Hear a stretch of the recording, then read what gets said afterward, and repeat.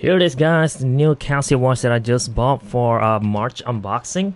It's just arrived literally like about 30 minutes ago. I set up my camera, set up lighting and such and start filming. I have really no idea how the watch looks like. I mean, I know what the watch is because I bought it online, but I haven't seen it in person just yet. So this is it. Uh, yeah, we have the watch in here. I'm, I'm sure that will be a manual book down here, right? Okay, that's how you, the Casio box usually goes. It operates on Casio 3484. This is a multilingual manual book so it is thicker. This is not a JDM version. I don't think Casio lists this watch in Japan at all so buying outside of Japan is the only way to go. Besides it is cheaper. I had a purchase link down in the description box and you'll be impressed with the price considering what you'll get. I read the specs but I haven't seen in person or tested out yet. But here it is in carbon fiber printed box. So yeah pretty cool okay this is the watch let's have a look here it is oh wow it is smaller than I expected really. I look at photos online. I even watch other channels YouTube uh, reviews. It looks big though, but yeah, in person it looks it looks smaller than it is. I have my Casio Royale next to it. Look at that. It is bigger for sure, but I was expecting to see something like a king size G-Shock watch, you know, but hey, it is better. So, uh, let's see now, remove the tag. Here it is. As most Casio watch, it works for 10 year, 200 meter water resistance, world time LED. So this is the special thing about the watch. 200 meter water resistant Casio watch.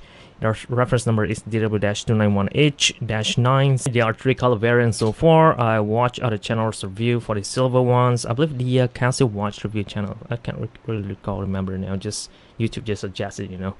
And I bought the all black version thinking it's gonna be big. So, you know, all black will make it looks a bit smaller, but it is still pretty big, surprisingly. But the gold display looks really, really good. Let me put this out the side. Oh yeah, it is much better. The gold display is much better than the default positive display for this one. I'm not sure about for this one.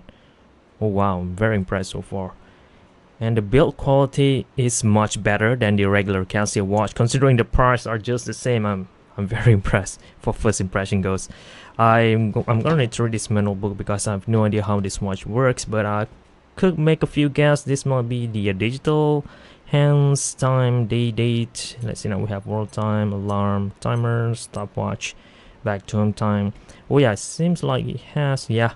Same exact function as the Casio Royale except it is missing the map and all these indicators and the placement are different. So yeah I'm pretty sure this thing works the same way as this except it has different build structure pretty cool. So far so good and it is made in China. Size wise though let's uh, measure it real quick. Get it out of the way so I could make a proper review next. I mean I'll add the uh, size measurement down here from the uh, Casio website but if you measure it all the way out it gonna goes to 50.2 millimeters.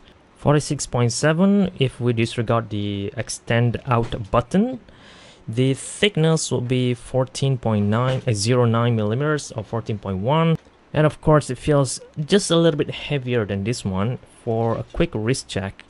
I'll still gonna include all of this all of the close-ups in full review video but just you know for first impressions that's how it look like. Oh wow. When you put it on wrist it looks big now. Okay. I believe this is a lot bigger than the uh, square G-Shock watch right? Here we are.